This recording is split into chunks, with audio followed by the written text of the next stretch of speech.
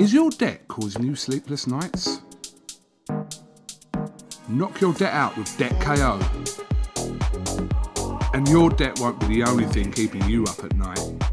Debt KO, free, impartial advice on all your debt.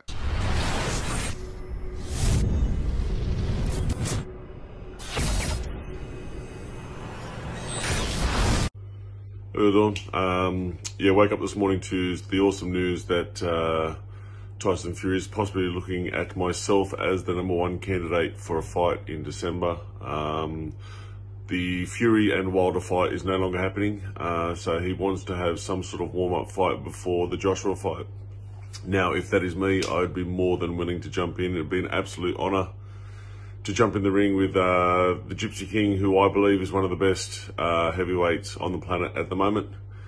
Uh, in saying that, wouldn't it be awesome for me to uh, knock him out and uh, have all his fans hate me at the same time? So yeah, that's that's something that I would absolutely love to happen. Um, as I said, it would be an absolute honour for me to share the ring with him. Um, I will be going in there to knock him out. Uh, that would be the plan.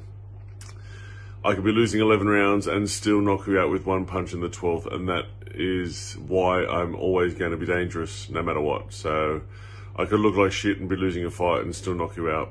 Um, Tyson Fury, yeah, thank you very much for the consideration. I do hope it uh, comes off. I am training and waiting for a fight.